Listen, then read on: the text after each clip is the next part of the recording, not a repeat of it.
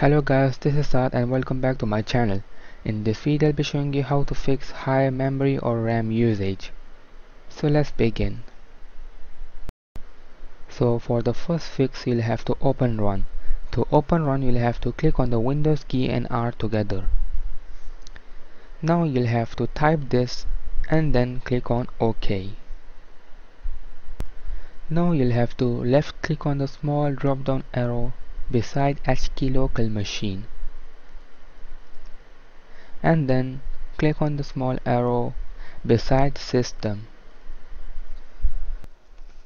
The next is control set and then services. And then you'll have to scroll down until you get to NDU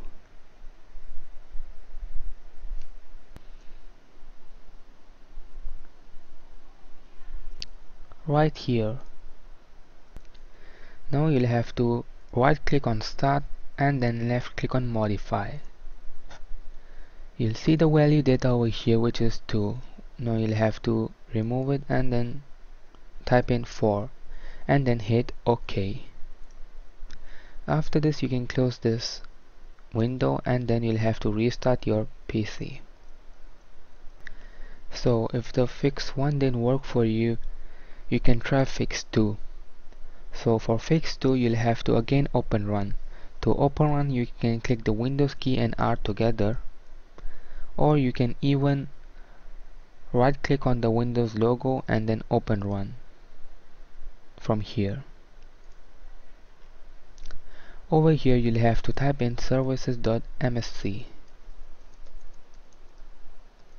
and then click on OK now you'll have to scroll down until you find this process which is called SysMain and then you'll have to click stop. You have to stop the service. So basically note that if the fix 1 didn't work for you then you can try fix 2 and then you'll have to click stop and your service will stop. You then you'll have to right click this and then properties. Over here you'll have to the startup type you'll have to set it to disabled and then click apply. After this you'll have to restart your PC and it's pretty important to restart your PC because if you don't restart this wouldn't work. For both fix 1 and fix 2 you'll have to restart your PC hope this video would have helped you. And for more similar videos you can subscribe to my channel. We'll meet in the next video. Till then peace out